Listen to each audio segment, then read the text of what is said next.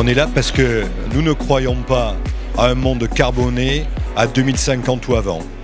Dans l'accompagnement des entreprises sur l'année 2021, 30% ont été liés de près ou de loin à la transition environnementale. Ça veut dire que c'est la préoccupation de nos entreprises, c'est-à-dire de nos clients. C'est ce que nous faisons aujourd'hui en travaillant sur la décarbonation de notre monde.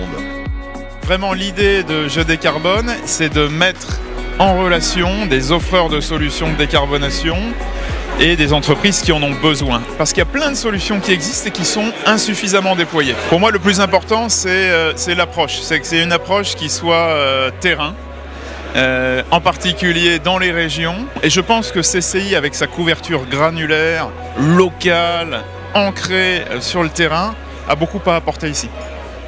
Premièrement, nous allons aller sur le terrain, euh, communiquer autour de toutes ces initiatives.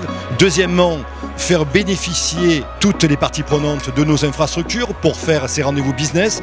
Et troisièmement, faire en sorte de, de faire des propositions autour de la plateforme même qui va faire du matching entre les besoins des entreprises à décarboner et des offres de solutions.